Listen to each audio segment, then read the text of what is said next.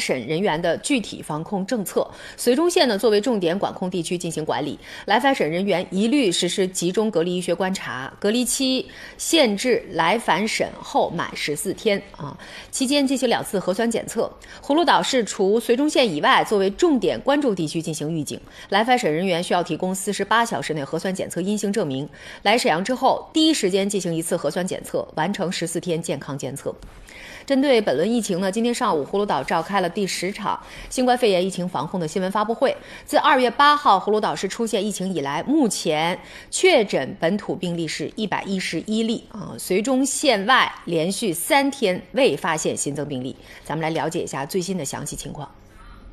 二月八号到十六号二十四时，葫芦岛累计报告本土确诊病例一百一十一例，其中绥中县一百零六例，兴城市一例，连山区、龙岗区各两例。绥中县外，葫芦岛其他县市区已连续三天未发现新增病例。二月八日至十六日二十四时，葫芦岛累计追踪到密接者两千一百一十人，次密接者一千八百一十三人，密接和次密接者均已按要求落实管控措施。二月十六日零至二十四时，全市采集核酸样本五十一点五万人，截止到十七日九时，已完成检测四十八点五五万人。